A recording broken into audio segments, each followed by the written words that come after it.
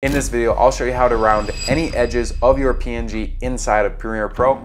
Plus, at the end of this video, I'll show you how to create this animation in just seconds using my text and logo animation presets.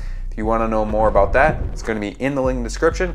Now, let's create this effect. In order to get round edges, you wanna search up roughen edges. So it's going to be roughen edges. It should be under stylize. Just drag it, drop it onto your layer. Scroll down, make sure this is on roughen. If it's on any other thing, it's gonna mess up and you don't want that. So for the border, you can see when you increase the border, it kind of gives us this like really cool grungy type of effect that to be honest, I'm probably gonna create some presets of, but if you don't want that, and like you're looking for to get the rounded corners, you want to turn this fractal influence all the way to zero.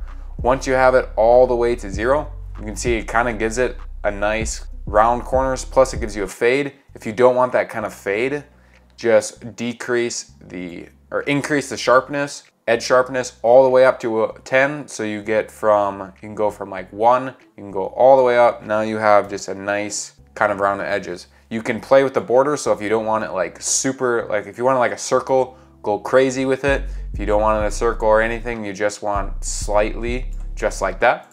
Put it on like 39 and boom, you have all the rounded corners that you ever will need. Now let's say you don't wanna do this every time and you also wanna create that animation I just showed you.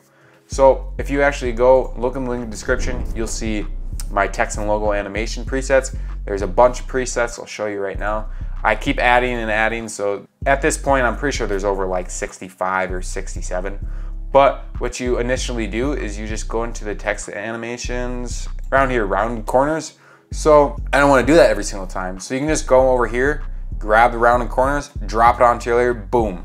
You can also just come up here, like again, just resize this, whatever you want. And that's really easy and simple. Now, let's say you wanted to create that animation that I just showed you in the beginning of the video.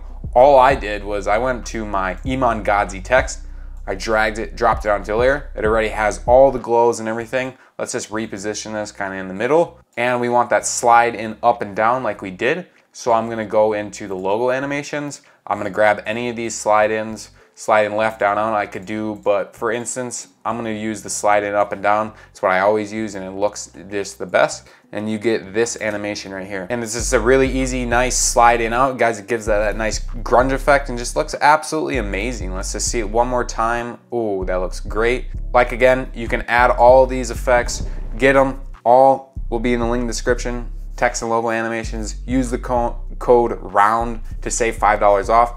And if you wanna learn more effects just like this and learn by me personally, click this video right over here.